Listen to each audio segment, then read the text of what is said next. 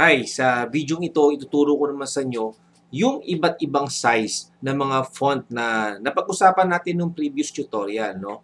So, hindi natin nabigyan masyado ng mga ng linaw yung mga sizes ng font na uh, pwede natin gamitin sa paggawa ng web page or website. Okay, so simulan na natin. So, click natin ang notepad, HTML. So, lagay natin uh,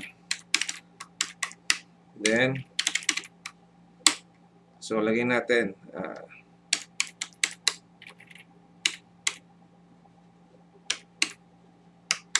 okay.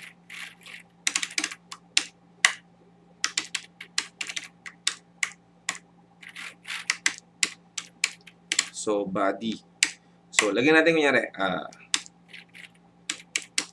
font size equals to 7 So, ito yung pinakamalaki, no? So, subukan muna natin. Let's say, ilagay natin ang output na niya ay Welcome to HTML tutorial. Kunyari, yan ang i-output niya. Okay, so, font. Okay.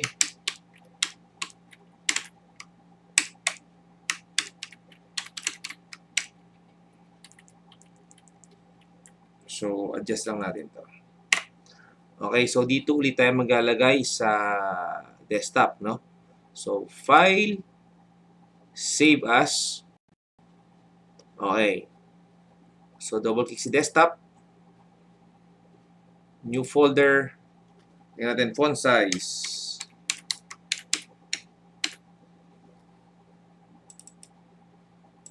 So, lagyan natin size.html. Okay, so double click.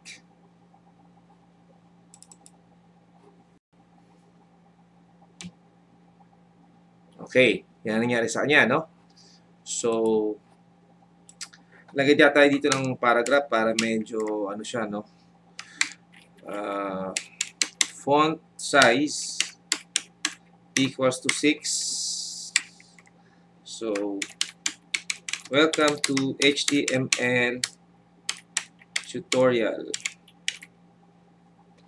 Okay. So, font. Okay. File. Save. Ayan, nangyari sa kanya. No? So, naglagay lang tayo ng paragraph dito, no? So, pero pwede rin naman wala, no? Okay. So, font size equals to 5. So, lagyan natin Welcome to HTML tutorial.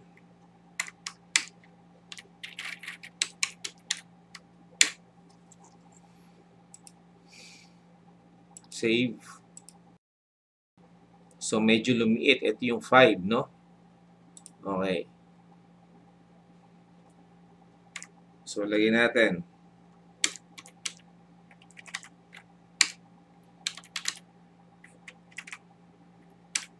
Font size equals to 4. Lagyan natin. Welcome to HTML tutorial. Okay, so font, no? Uh, size 4. File, save. Okay, so lagyan natin muna ng paragraph, no? Para magkaroon siya ng paragraph dito. Okay. Ayan. Now, next,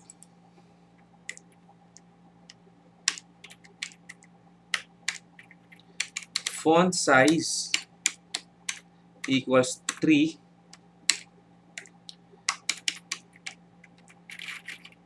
Welcome to HTML tutorial. Okay. Font. So, file, save. Okay. So, ayan, ano? Next.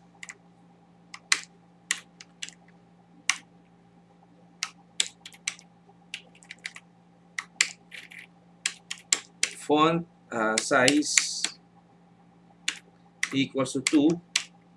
So, lagay natin. Welcome to HTML tutorial. Then, lagay natin font.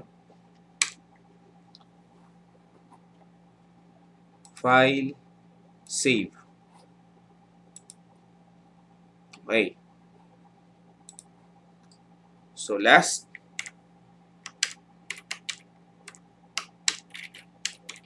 Font size equals to 1. So, lagyan natin. Welcome to HTML tutorial. Okay. Then, font. Okay. File, save. Okay, yan. So, explain natin. Font size 7, ito, itong malaking to. Uh, 6, ito po. 5, ito. Then 4, ito po ang 4. 3, ito ang 3. 2, ito. At 1, ito yung last. So, bale, ito lahat ang sizes ng HTML font. So, okay?